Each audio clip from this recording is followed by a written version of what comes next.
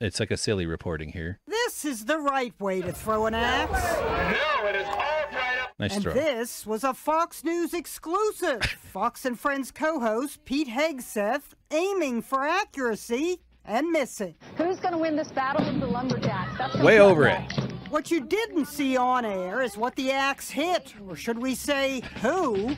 Drum roll, please. West Point marching band drummer Jeff Prosperi got hammered by the axe while the other band members kept drumming. Ouch! Okay.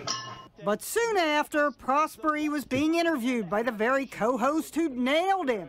It's a del- delight to be here to celebrate. Absolutely. Well, And an even bigger delight to still have both hands. Oof. On his Facebook page, Prosperi posted the cell phone video and called the mishap obvious negligence. I am thankful to God that the double sided blade only hit broadside on the outer elbow with significant impact and a couple of cuts. Yeah, I mean that's a big old piece of metal and a stick. Like that's still gonna hurt. But obviously, I think we'll all take the the blow instead of we'll take the we'll take the uh, blunt damage instead of the uh, slashing damage. You know. He said he was focusing on full physical and emotional I wonder if a lawyer gave him some words to say for these comments. Free. Is it just me, or is that code for a lawsuit? Pros- Well, there you go. See, C and I are on the same page. Let's okay. We'll finish through this. There's obviously a lot of watch time right here. Prosperi's not commenting, and Fox News didn't reply. But who needs enemies when you've got Fox and friends like these? You got a pass. Oops, I'm sorry. Accidentally tossing a ball in the face of a two-year-old basketball oh, phenom. We'll be I would back. cry at my age if that happened to me. This is a little baby boy. See how tight. Friends like these. Oops, I'm sorry. Accidentally tossing a ball in the face of a two-year-old basketball phenom.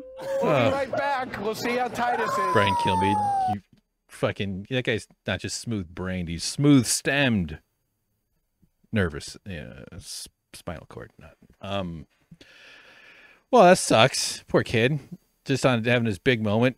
What if he peaked? Do you think he peaked? Do you think that was it for that kid? Do you think that was his fucking the top of his house? I was in a play when I was a kid. I think I peaked. I think I peaked at at seven when I was Edmund in the Lion, the Witch, and the Wardrobe at the.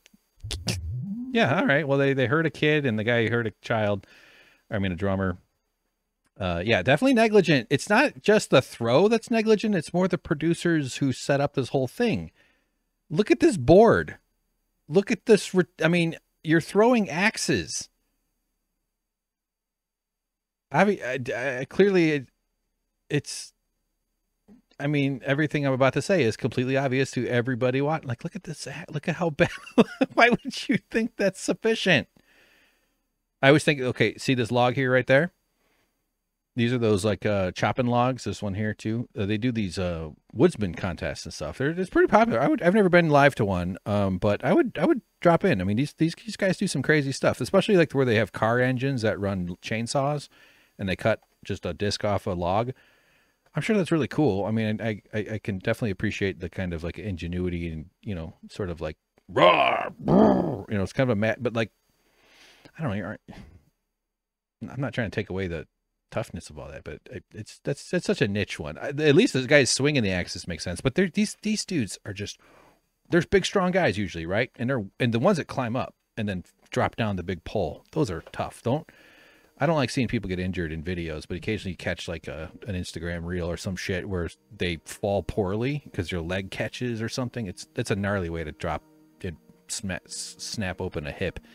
But the guys that swing the axes on these things and there's audiences around, I just feel like one slip. I know these dudes aren't. I mean, you know, it's unlikely that they're going to let go, but there's no kill switch on that. They don't like tie it to themselves in case they let go of the blade, and it might just whip off into the audience. Very risky. Human beings, we we we mess with physics too much, and this is a good example.